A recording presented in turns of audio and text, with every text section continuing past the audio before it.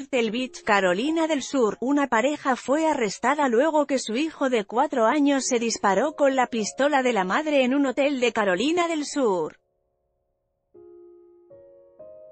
Leer también, niño de dos años toma un arma y se dispara en la cabeza. Heather Lynn Odom y Jeremy Barrett fueron acusados de negligencia luego que el niño se pegó el tiro a eso de las 7 de la noche del sábado.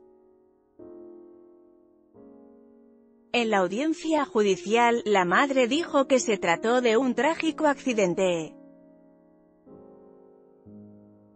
Temática, leer también, mujer obliga a su hijo de dos años a comer alimento para perros Los detectives determinaron que el niño halló la pistola calibre 38 en la cartera de Odom, en momentos en que ella y Barrett estaban en otro cuarto del suite.